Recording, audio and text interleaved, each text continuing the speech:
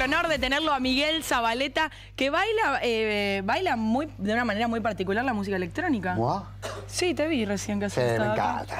¿Todo? Sí, me encanta. Cualquier lo que venga Yo miro a los morenos, yo miro a los morenos, amo el baile y no sé por qué vos ponías a 40, no sé, de las personas que andaban conmigo, le ponía a James Brown Sí. Y yo, yo empezaba a moverme solo y no sé por qué, siempre fue así.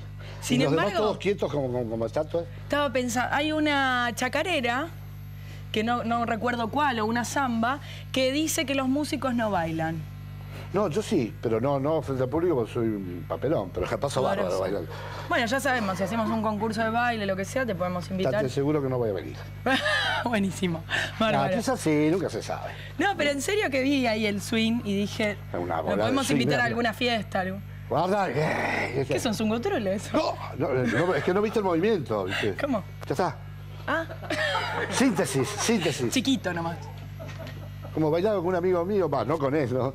Con un amigo nuestro, Daniel Mendigo, no sé si lo conoces, músico. Ah, no me Teníamos un, suena. un movimiento ya Sí, me que suena, el uno paso, rulos. un, un hombre rubio teñido de negro. Eh, los pasos iban achicando y al final eran así.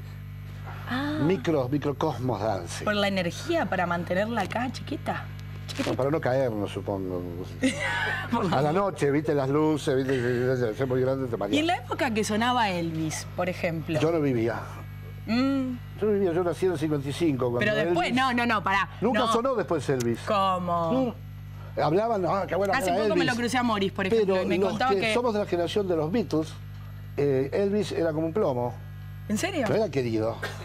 Ah. No, no es que no era querido, no era admirado. De hecho, ni lo conocía. Yo escuché Elvis en los 70 y encima lo vi. a- Ahí me empezó a gustar cuando apareció con el traje ridículo.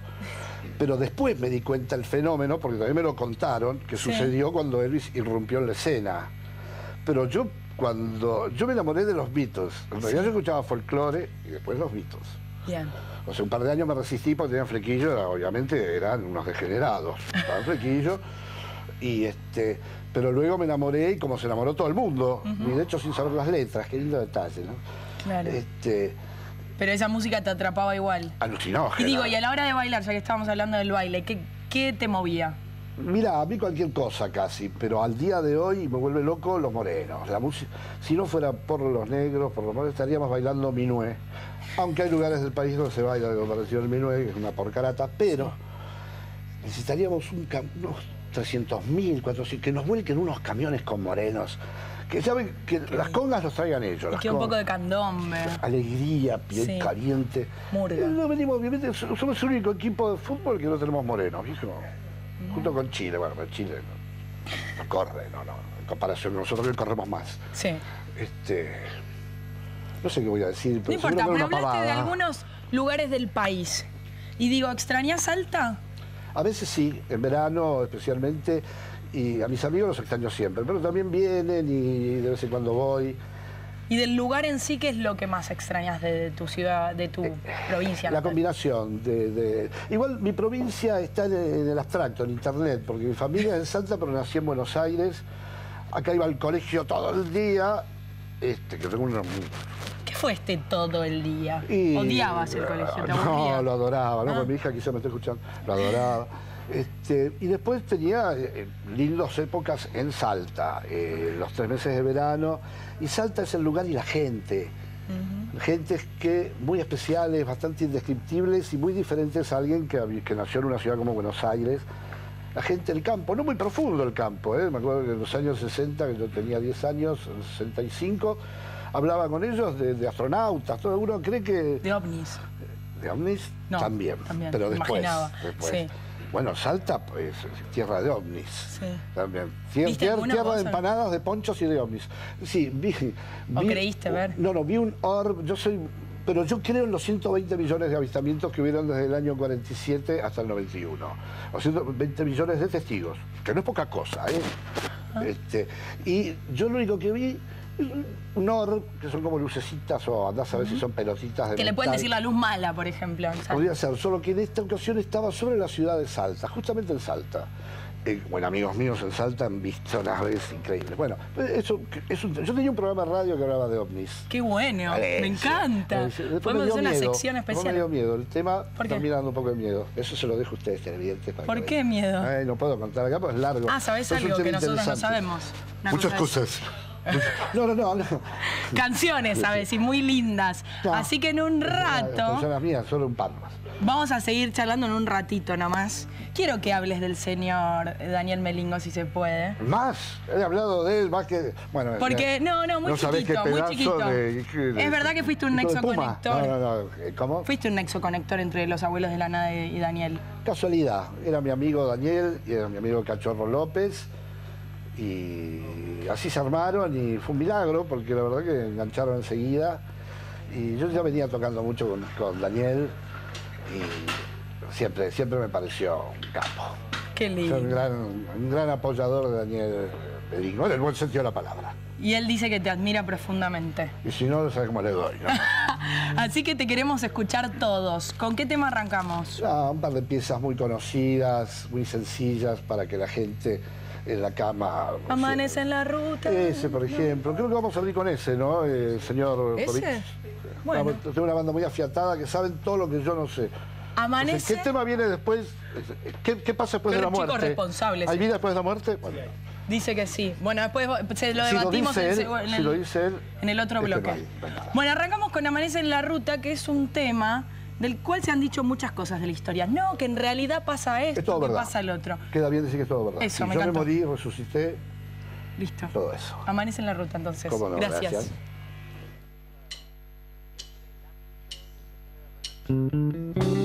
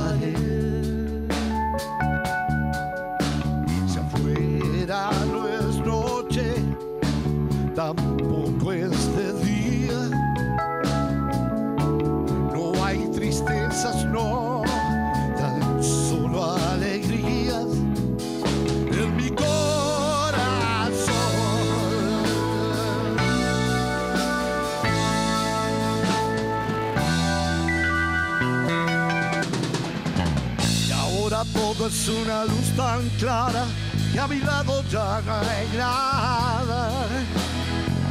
Solo alegría, paz y armonía, esa luz que está tibia. Y me comprendo, eso no era un sueño, en ese auto estaba yo. Y ese auto estaba todo roto y con fuego en su interior. Pero ¿dónde ¿Dónde estoy? Soy yo, ¿qué hora es? ¿Dónde estaré?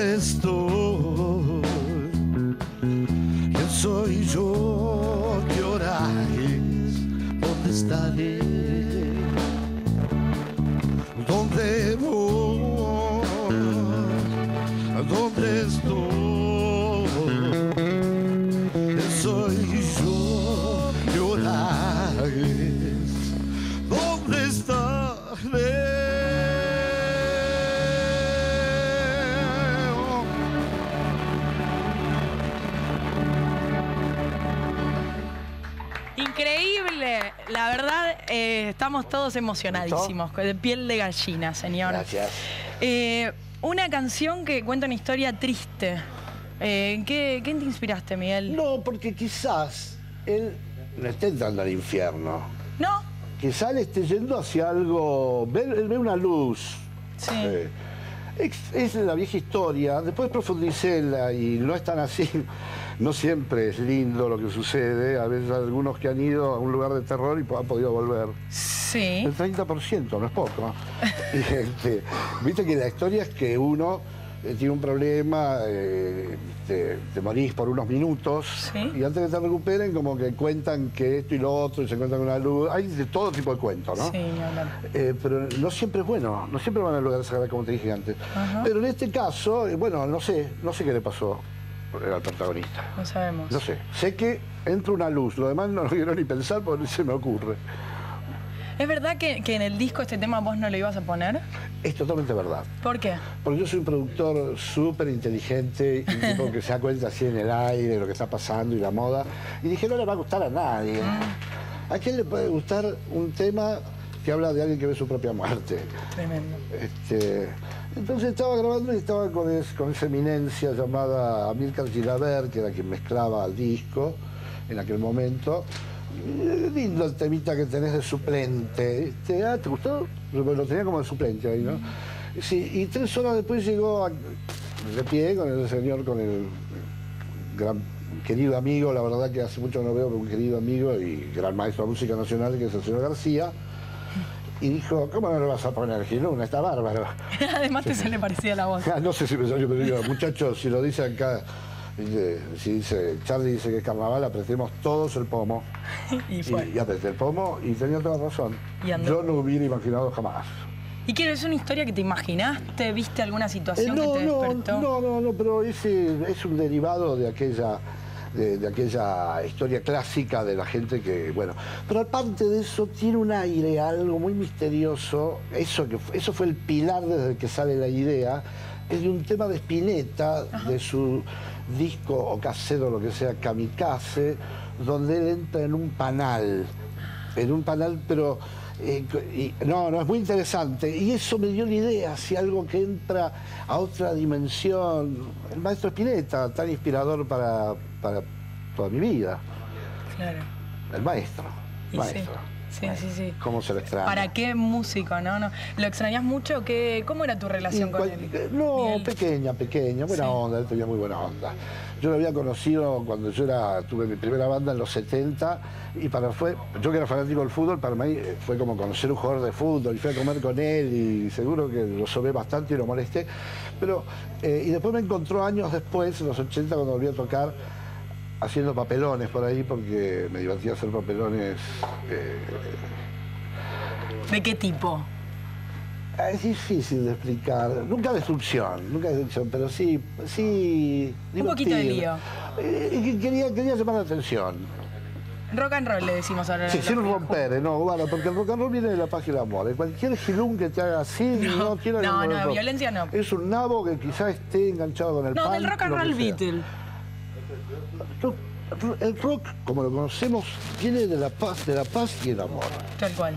Lo que lo otro es una deformación a través de los años de un montón de cretinos que no tiene nada que ver. El que te haga así como sinónimo o que te vomita el, el auto, no es rock and roll, es, un nabo, es un nabo y, no es así. El rock and roll, paz y amor. No, eso no quiere decir que, viste, que, que- que muchas cosas, pero sí quiere decir que la destrucción, yo nunca lo vi como parte del chiste. Nunca, nunca. Y Siempre entonces me- te gustaba hacer lío. ¿Y qué, qué pasó en esas, en esas y anécdotas? que me hizo famoso. Bueno, te voy a agarrar agua. Dale, tranquilo. Vos agarrá agua tranquilo y mientras tanto seguimos charlando. Ah, Sí. Miguel, ¿qué sentís? Porque escuchamos Amanece en la Ruta, pero tenés millones de temas que has compuesto. ¿Qué sentís cuando un artista reinterpreta tu canción, la vuelve a, a No, me encanta, me encanta, me encanta. Aunque lo hagan un par de matungos bastante importantes, eh, no en el rock. En el rock fueron muy lindas las canciones como las hicieron. Pero en otro tipo de música hay un par de personas que, que- pero igual estoy agradecido a ellos y hasta me es un honor. Pero bueno, esos muchachos quizá no, no dan lo que... Pero en el rock sí, me han hecho versiones de música, todas me gustan, todas, todas. Es muy la de Amanece en la Ruta que canta Fabi, es muy interesante. Cantilo, claro. Porque es la visión de un arreglador, que es muy bueno el pibe que toca con ellos y que arregla. Que este, y. mm, Pero mirá, que lo conozco muchísimo, me fue el nombre. El novio de Abril. ¿Cómo? Cae Gutiérrez. Cae Gutiérrez, exacto. Cae. Están en todas las Cae- muchachas. Ah, no, no. Fresa. Increíble. Si no corre, vuela. Este, eh, eh, eh, no es, es más, más joven y es donde yo la dinámica la subo y la baja. Entonces todo al revés. Y, está bien, está bien, es una Pero visión. de alguna manera, eh, esas reinterpretaciones. Reinterpretaciones. Sí, exactamente, esas reinterpretaciones le sirven a otras generaciones para conocer algunas canciones que por ahí no hubiesen conocido en otro momento. No, no, sin duda, Bueno. no, y es un honor porque está hecha bien. Hay parte que está hecha bien, es un honor que se elija ese tema para hacer. Perfecto. Ahora, eh, ¿cómo, ¿cómo fue tu conexión Gracias. primaria con el rock?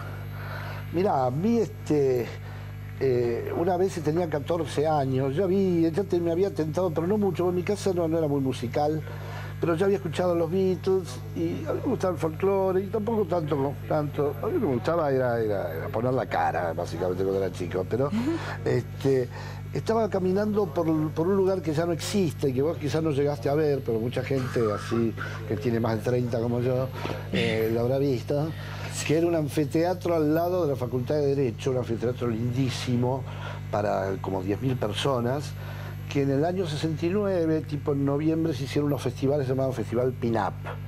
La revista. Sí, con el, el director Daniel Ripoll, o sea, personajes que para mí solo tendrían que tener algunos monumentos. y, este, y yo fui como de casualidad, porque tenía entradas, y de pronto vi gente que nunca había visto en mi vida, que no pensé que estuviera en Argentina, gente de pelo largo. Y tenían, lo tocaba la guitarra, decían, qué raro cómo toca la guitarra. Yo estaba acostumbrado a la chacarera, ¿viste? Decía, Sabía lo que era el rock y todo, pero nunca lo había visto en vivo. Y veía que la guitarra de los nietos apretaban un botón y empezaba a hacer un ruido. Y dije, descubrí el distorsionador. Y me volví loco, me volví loco. Y ese mismo día cerró el show Almendra. Y cuando apareció Spinetta dije, ¿de qué planeta soy yo? ¿De qué planeta es él? Estoy yo en el planeta equivocado, evidentemente. Eh, no, ya no sé. Estaban ahí, para mí, eh, no te digo que al otro día me, me- me cambié me operé la cara para parecerme Spinetta, pero básicamente empezó a enamorarme eh, muchísimo la música de rock. Aparte había pibas, había lindas pibas. Dijiste voy a conquistar a varias. Em, y al año siguiente trabajé de, de cadete en la revista Pelo. Buenísimo. Ya iba a los recitales, ya era uno más. O sea, vos dijiste, mi móvil- camino es meterme en la revista para empezar a... Me gusta el rock. Yo nunca me imaginé que iba a ser músico. Me acuerdo que lo conocía Alejandro Medina, divino. Aparte era, era un gran tipo, era, venía y cantaba blues, súper canchero. Y le dice, cantá si quieres. Y yo, no me daba, ¿viste? tenía nervios. Está bien, pero tenés que ponerle más garra. y le serví café a Billy Bond. eh, de- le serví, ¿cómo se llama? este Me acuerdo un día, porque vino a organizar Barro, que era Billy Bond, eh, creo que Claudio Gavis, y no sé quién más de Almendra. Era como un plana mayor del rock nacional. Entonces me che, llévate unos cafés. Y fui temblando. Yo era un chiquitito, 29 años, no me acuerdo. No, 14. Tenía 16. 16. Oh, Eh, Llego chiquitito. Estoy con la mentalidad de 9 más o menos. Y, y yo tomando café, y cuando entro Billy Bond, que fue el primer punk, que era, que era un gordo bastante bravo, Billy Bond me dice, ¡miralo! Y me señala a mí y yo me sigo con la, con la bandeja, ¡mirale los ojitos! ¡Mirale las ojeras! ¡Toman anfetaminas! Decía. Y yo me quedé alienado, ni sabía lo que eran las anfetaminas. Y, y- y además no entendía cómo se podía confundir las ojeras de anfetamina con ojeras de masturbaciones masivas, que era, que era lo lógico que ocupaba el día de cualquier adolescente.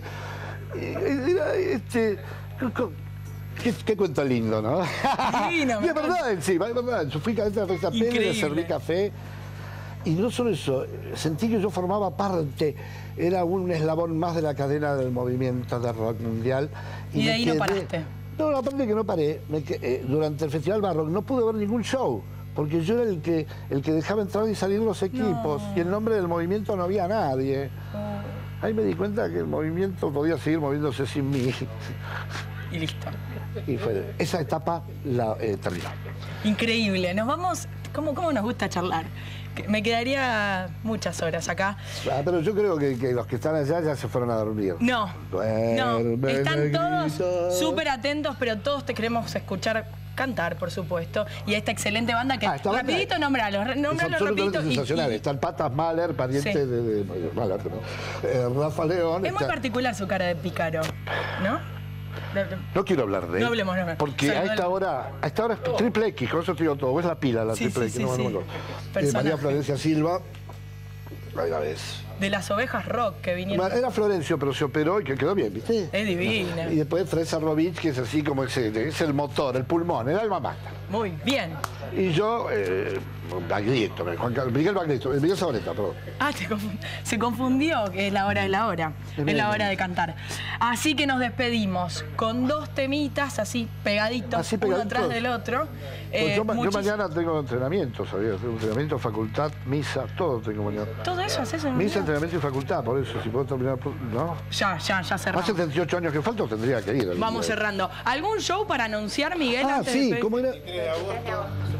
No, acá tenés el mic. Vos hablá, caminá, bailá. 23 de agosto, ¿en dónde? 23 de agosto. El 23 de agosto, suburbano, suburbano, humano. Gallo al 700. Gallo al 700, ¿qué hora? 22 horas. 22 horas. Esta banda ¿Con tal cual, ¿no? Sí, sí, con eso. Mahler, Pat, eh, todo. Bien que haya una, una, una mujer aquí. eh, Mahler y Lion. Sos un genio. Ídolo total. Bueno, nos despedimos con dos temas, el que quieran, los que quieran, si los quieren nombrar. Um, ¿Cómo? Él anda diciendo y... eh, y extraño Y, una- ser. y extraño ser los Extraño clásicos, ser, listo. sí. Muchísimas gracias a No, todos por haber venido. Mil gracias. Está sonando increíble. Un placer inmenso, no tengo más palabras que decirles. Gracias.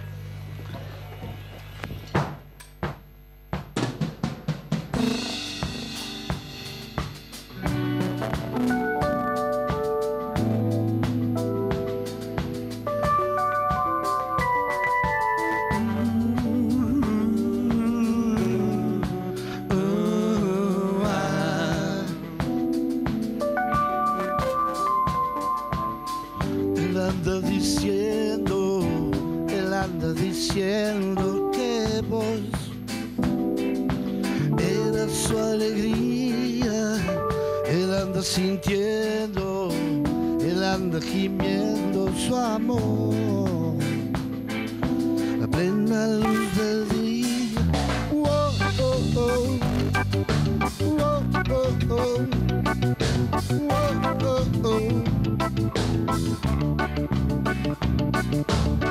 Se gana la vida y cuenta los días sin fe.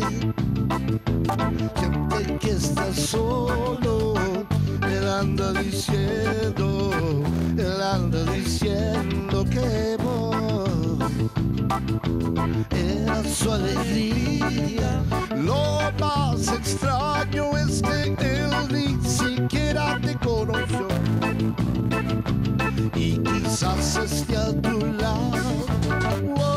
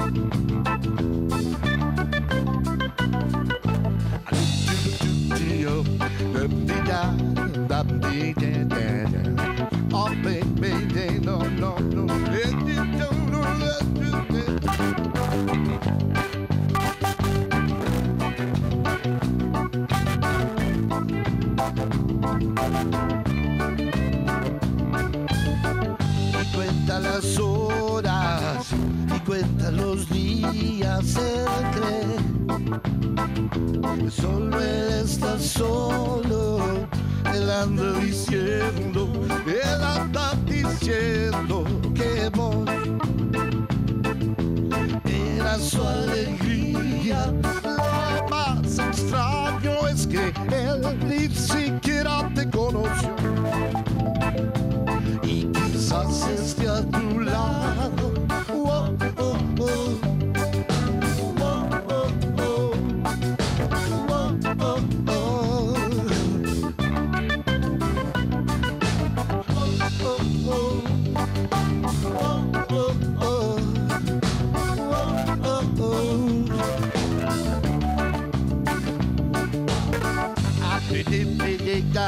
La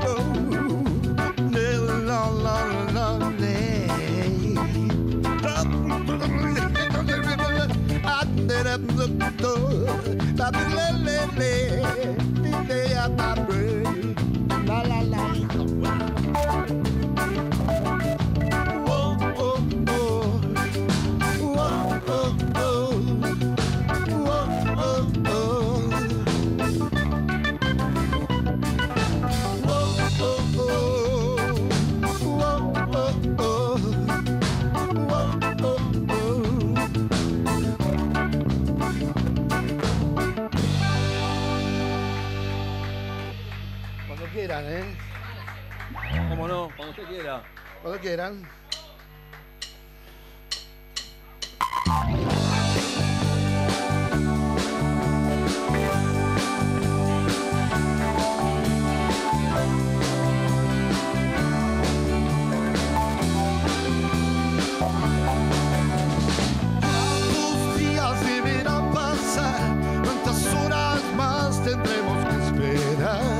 Extraño ser, estoy tan solo esperándote. ¿Cuánta gente anda por aquí? ¿Cuántos de ellos siento son igual a mí? Extraño ser, estoy tan solo esperándote. Te quiero cerca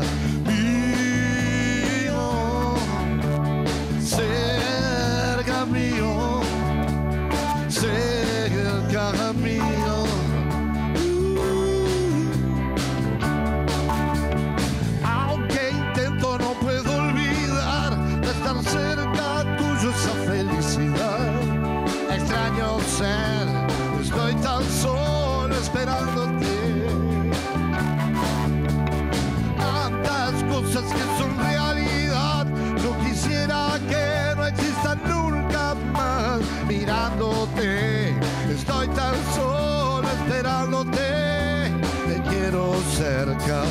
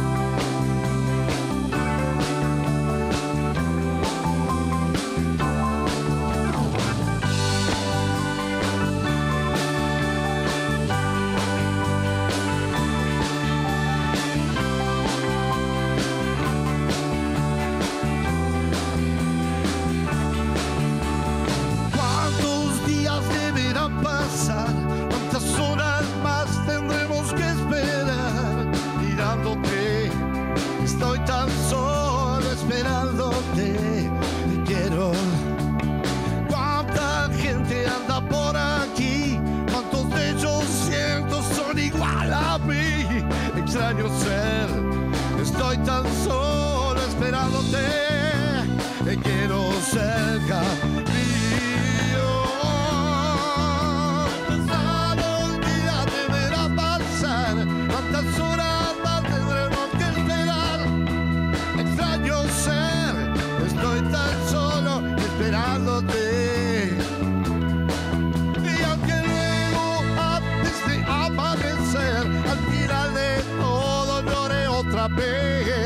extraño ser. Estoy tan solo esperándote, te quiero cerca.